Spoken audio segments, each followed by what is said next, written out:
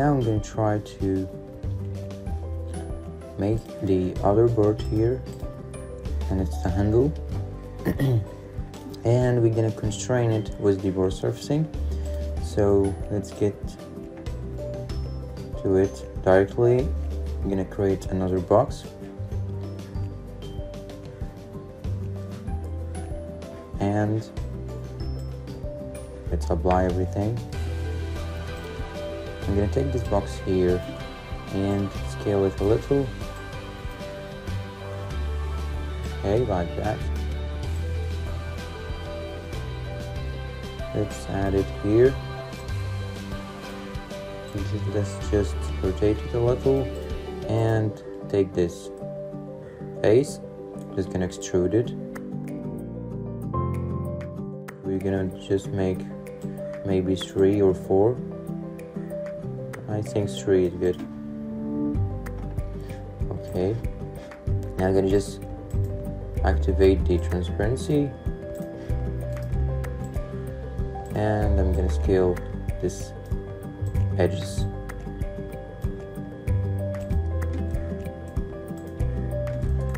Just select the whole face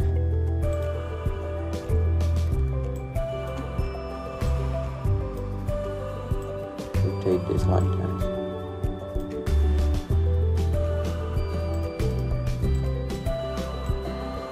Okay.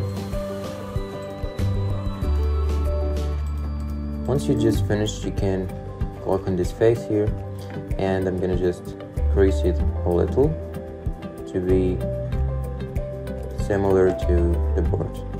And then we can scale it a little okay now we just semi close to the board here starts the front track.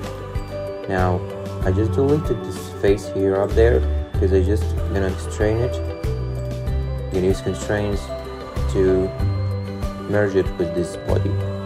So as you see here there are a big radius start from here to maybe here. So I'm gonna just import reference now I'll have these whole faces for reference. I'm gonna select this one and this one. And this two. Okay? Side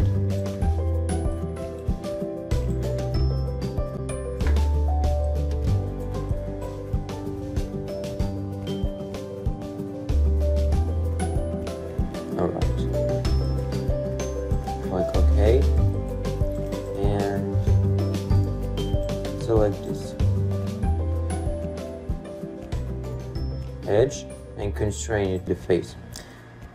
Okay as you see now it's great okay now let's see. Subdivision smooth view and you can manipulate it. It's just holding on the surface now. It's just um, merging into it and taking the same radius the same big radius here. You can move it easily like that use a little bit again. Okay. Now I can take this only and move it here.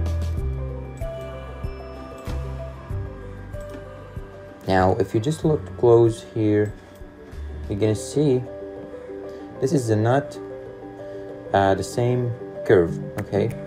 So what we can do here is just manipulate some vertices and points.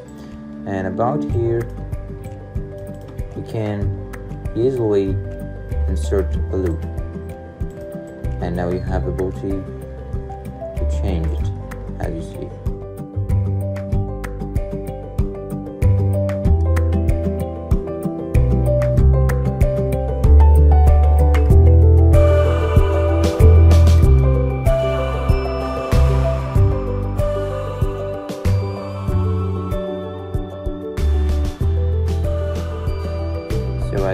now, the curves is the same curve of the hair dryer. Okay. Let's just remove the transparency and it's the same uh, look of the picture.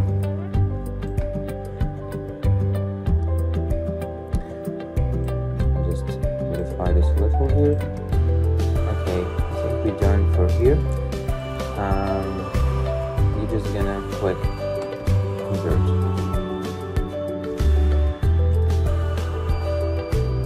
So let's just remove the picture.